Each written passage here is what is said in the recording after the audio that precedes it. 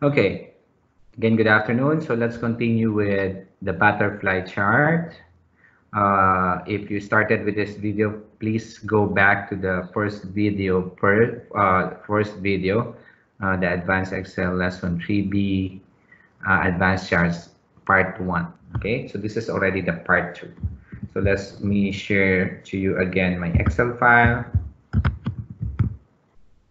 Okay, so this is our Excel file. So again, the first video's uh, result is for me to uh,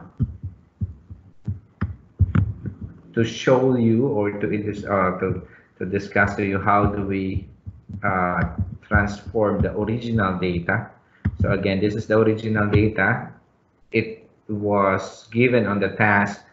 It will be given on the task, or if you will apply this on your own work, this is a uh, or these are the respondents who answered yes on the, this question and the other one is the no. So you have two columns. Okay. So from that, you will transform that uh, table okay to this kind of table okay then all of uh, the next is you just need to make the table so I'm going to stop this and show you again the steps from the PowerPoint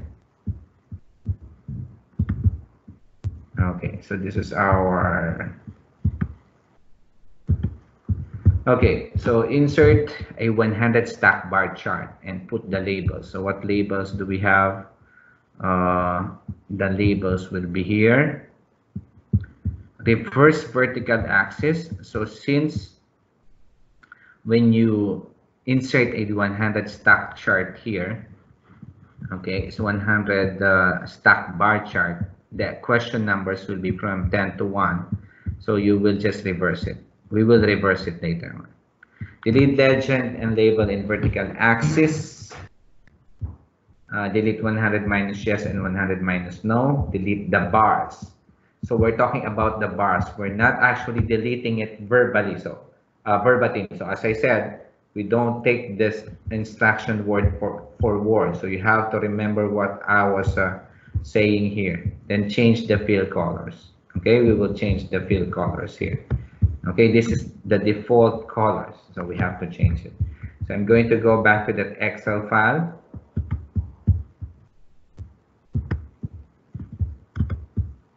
Okay so what you're going to do is to highlight the whole and then insert. So as i said or as we read already in the uh, instruction, you will go for a bar. Vert, uh, yeah, uh, horizontal is the bar, column is vertical. Then you have to insert a stack bar, which is 100%. Uh, so other other bars here are not or the, the, the stack bar here is not 100%. This one is the 100%, the third one. So if you cannot see this in your video, so insert a bar or column, then 2D column, 3D column. The next is 2D bar. Then first choice is clustered bar. Second choice is stack bar. Then to the right, the last choice there is 100% stack bar. Okay, so click that one. So you've seen this in our PowerPoint. This is what we're going to do. So the first thing is that I'm going to remove some of this which is not needed. But before that, let me just reverse first the question numbers. So this is 10 to 1. You can leave it like this if you are doing it uh, now, but for the task that I'm doing, I want this question 1 to 10. But if in the future you want to do this, then it doesn't matter if it is 10 to 1 or 1 to 10. But I think uh, when you're presenting any uh, data to, to an audience, you start with question number one. So click this and then double click. Okay. Okay. Then you will have a format axis um, viewing pane here. Okay. So when you click on the chart, you can have the chart tools and then you have the design tab and the format tab. Okay. So when you click on this, this is the axis. This is actually vertical axis. Okay, again, I will repeat. click on the table, and then you have chart tools, design for and format tab. Okay, so it's either uh, the first thing is you click on this question numbers. Do not click on one item. Click uh, on the space. Okay, then you will have format axis. Then you have axis options here. You will go for axis. Uh, sorry, this is size and properties. You can see, and this is axis options. Click that one. Okay.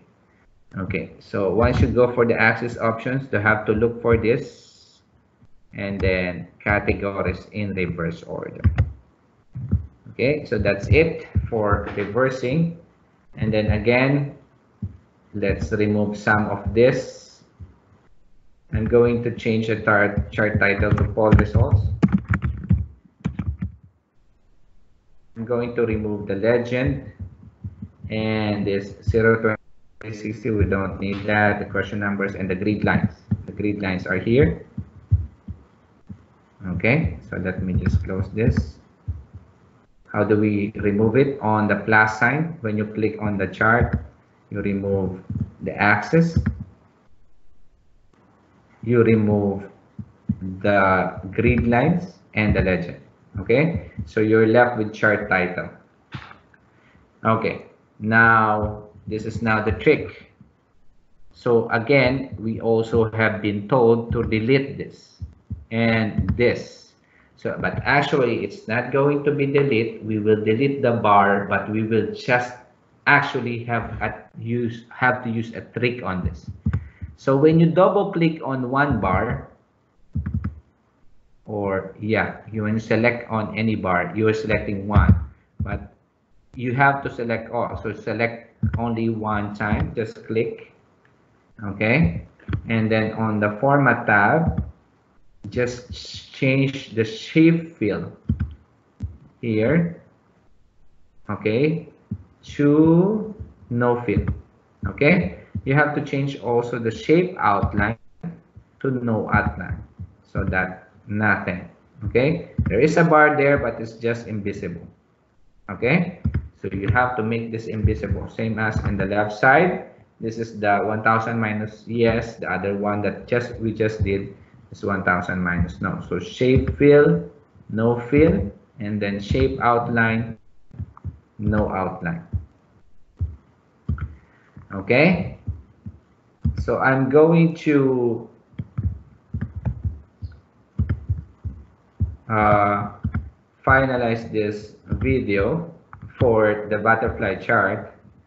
So for the gap, again, also we don't need a fill here. So again, shape no fill and shape no outline. Okay, so this is now your butterfly chart. Now we need to change the color. The, the example that I gave you, this is red. Instead of no fill, you have to choose red.